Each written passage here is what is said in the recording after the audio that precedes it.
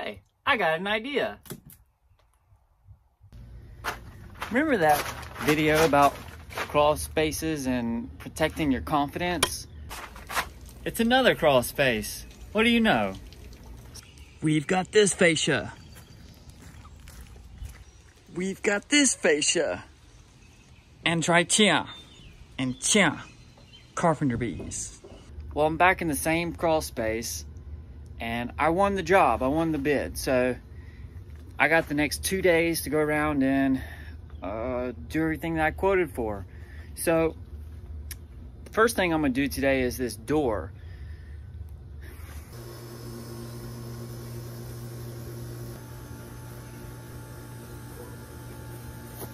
There is something absolutely satisfying about installing a new door and then as soon as you put on the new latch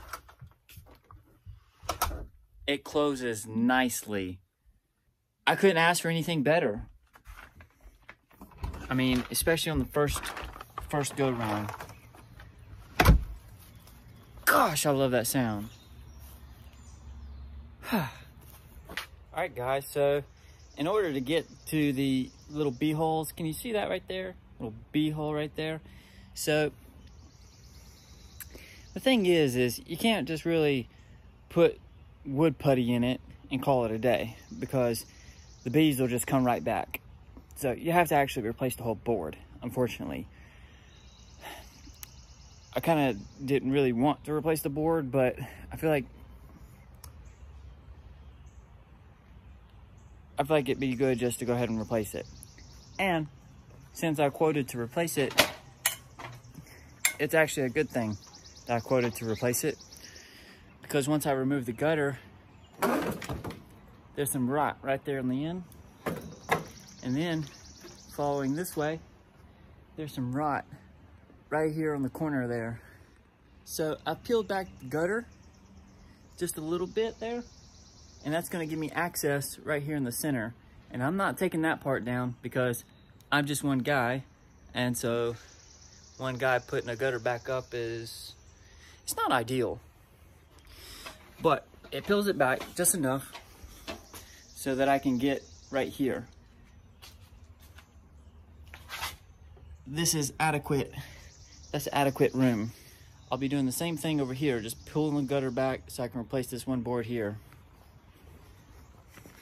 And as you can see, I got my pry bar in there to help pull this one back so I can get in here and replace this board here too.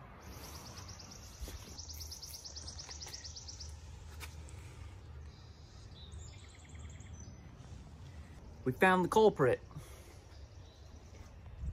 I don't know how many bees are in there, but there's a bunch. So as you can see,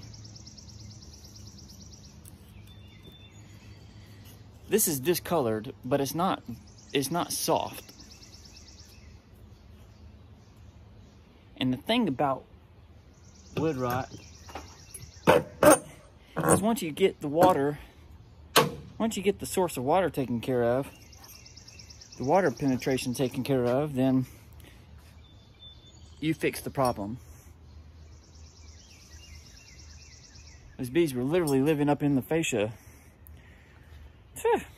See, he's trying to find his home. He can't find it no more. He'll go somewhere else. Go. Go somewhere else. Move away. Go.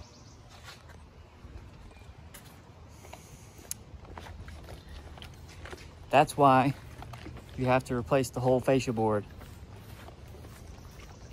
And not just putty over the hole. Here's a, I got something in my, in my face here. I got caulk in my face here. Here's a good trick for you. I'm replacing this fascia board way up here in the air.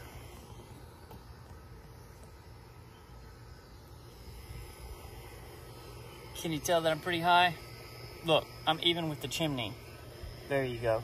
Second story. Pretty high up here. Well, you gotta screw on this fascia board and you got this gutter hanging. So this is what I do. I pop it on my head and I push it up. That way I can use one hand to hold the board and then I use my other hand to do my screws.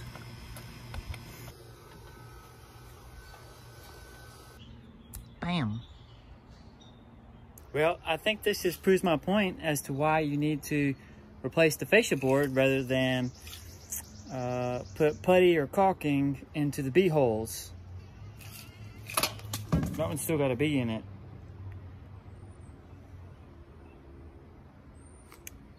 Because it's got this, so, because you see the here, it's got this putty in there, but, you know, the bees came right back, because, anyway. All right, it's the end of the day, and I'm done.